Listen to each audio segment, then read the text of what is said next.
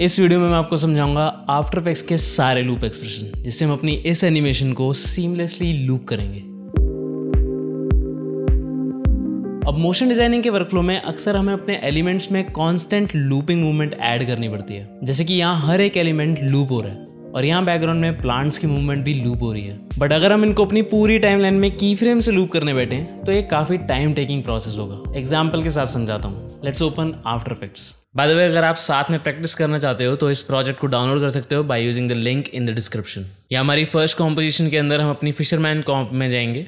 अब यहाँ basic animation already added है। तो इन लेयर्स की की फ्रेम्स को देखने के लिए हम इन सबको सिलेक्ट करेंगे और अपने कीबोर्ड पे यू प्रेस करेंगे। अब अगर आपको एक्सप्रेशन के बारे में कुछ नहीं है तो इन की फ्रेम्स को लूप करने के लिए आप सिंपली इस टाइमलाइन में इनको कॉपी पेस्ट करोगे। तो ये इतना भी टाइम कंज्यूमिंग प्रोसेस नहीं है बट आगे जाके इस प्रोसेस में काफ़ी दिक्कतें आती हैं। मान लो अगर हमें इस एनिमेशन की स्पीड तेज़ करनी पड़ जाए तो हम यहाँ इन सारे की फ्रेम्स को सिलेक्ट करेंगे और ऑल्ट प्रेस करेंगे और इस एनिमेशन ड्यूरेशन को छोटा करेंगे। और यहाँ फिर हमें और की फ्रेम्स कॉपी पेस्ट करने पड़ेंगे। और ऐसा करने से की फ्रेम्स हमारे फ्रेम से बाहर भी आ सकते हैं। अब इस प्रोसेस में अगर हमें बाद में कोई एनिमेशन चेंज करनी हो तो हमें इन सारे की फ्रेम्स को डिलीट करना पड़ेगा और अपने मेन की फ्रेम्स को चेंज करके उनको वापस से कॉपी पेस्ट करना पड़ेगा। तो ये मेरे हिसाब से काफ़ी दिक्कत वाला प्रोसेस है। तो इसी प्रोसेस को सॉर्ट करने के लिए हम अपने लूप एक्सप्रेशन यूज़ करते हैं, जिससे हमारा लूप काफ़ी जल्दी और नॉन डिस्ट्रक्टिव वे में बनता है। Let's begin with loop out cycle expression ये एक्सप्रेशन हमारे सारे की फ्रेम्स की एनिमेशन को लास्ट की फ्रेम के बाद कुछ इस तरह से वापस से चलाता रहता है। Let's use it in our hand control position property हम यहाँ स्टॉप टॉप वॉच पर ऑल्ट दबाकर क्लिक करेंगे और यहाँ हम अपना एक्सप्रेशन टाइप कर सकते हैं। आई लैड लूप आउट और ब्रैकेट्स के अंदर हम इन्वर्टेड कॉमर्स में लिखेंगे साइकिल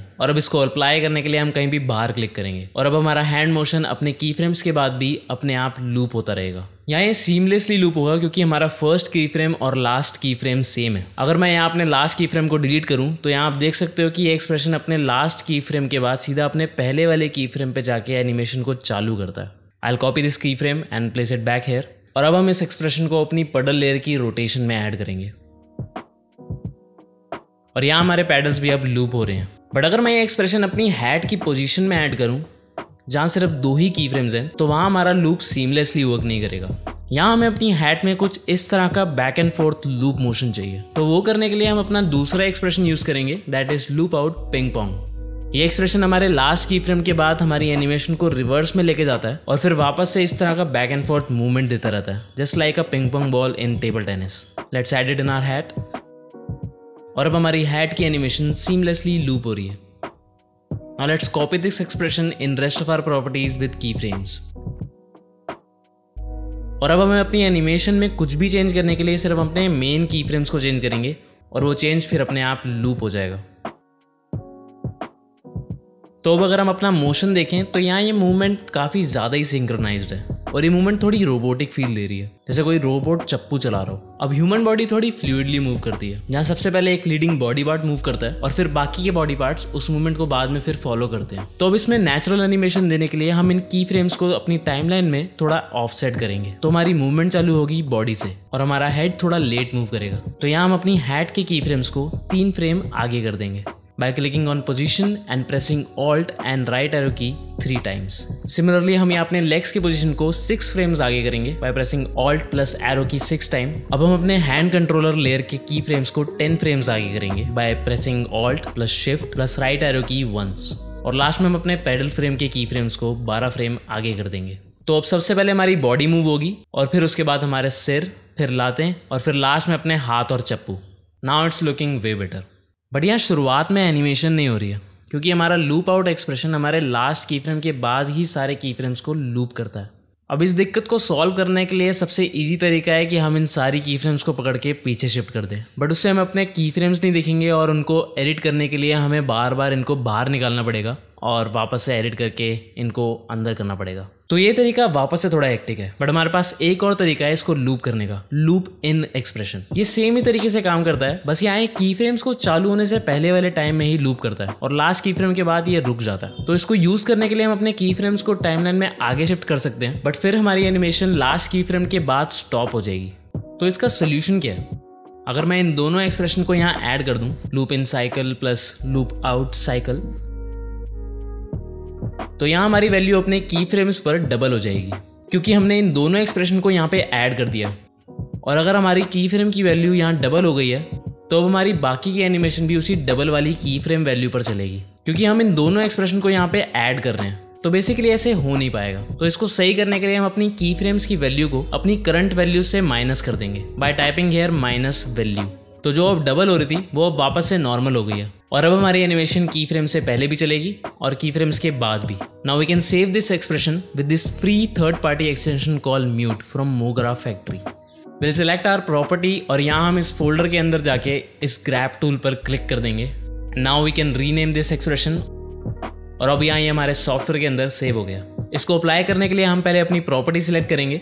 और फिर यहाँ आकर इस पर डबल क्लिक करेंगे। Now this is not a paid promotion for this mute extension it's just a free tool that you can use to save your expression inside this software अब हम अपने सारे एक्सप्रेशन को सिमिलर तरीके से change करेंगे, ताकि हमारे की फ्रेम्स के पहले भी एनिमेशन चलता रहे। मेक श्योर sure जहाँ हमने पिंग पोंग एक्सप्रेशन यूज़ किया है, वहाँ हम पिंग पोंग ही ऐड करें।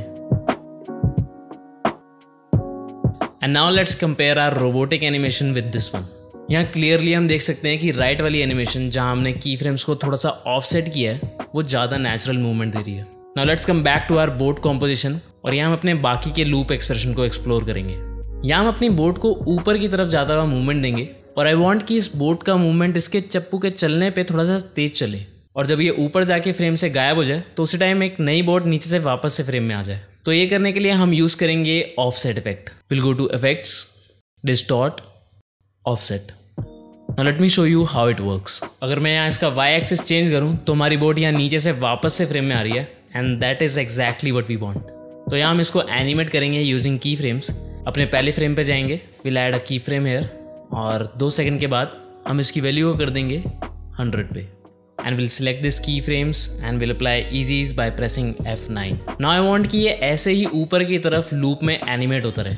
तो अगर मैं यहाँ लूप आउट साइकिल डालूँ तो ये काम नहीं करेगा. और पिंग पोंग भी इसको बस ऊपर नीचे ऐसे मूव करता रहेगा। तो यहाँ हमारा तीसरा लूप एक्सप्रेशन काम आएगा। That is loop out offset ये एक्सप्रेशन कुछ इस तरह से हमारे की फ्रेम में सेम वैल्यू ऐड करता रहता है। लेट्स ऐड दिस एक्सप्रेशन तो यहाँ ये बेसिकली हमारे की फ्रेम की वैल्यू को अपने लास्ट की फ्रेम के बाद ऐड करे जा रहा है। यानी अगर हमारे फ़र्स्ट की फ्रेम की वैल्यू यहाँ 300 है और सेकंड वाले की फ्रेम की वैल्यू 100 पे तो यहाँ 200 पिक्सल का डिफरेंस है। तो ये एक्सप्रेशन हमारे हर दो सेकंड के बाद अपनी वैल्यू से 200 माइनस कर देगा। तो यहाँ फोर सेकंड पर अपनी वैल्यू हो जाएगी माइनस हंड्रेड पे और सिक्स सेकंड पे हम देख सकते हैं हमारी वैल्यू हो गई है माइनस थ्री हंड्रेड पे। तो ये एक्सप्रेशन हमारे की फ्रेम्स के सेम इंटरवल्स में सेम वैल्यू को माइनस करता हुआ चला जा रहा है। अब अगर हम प्रिव्यू करें तो इट्स लुकिंग गुड बट मैं यहाँ देख सकता हूँ हमारी बोट की स्पीड बीच में एकदम से ज़ीरो हो जाती है। आई वॉन्ट कि हमारी बोट में हमेशा थोड़ी बहुत मूवमेंट रहे।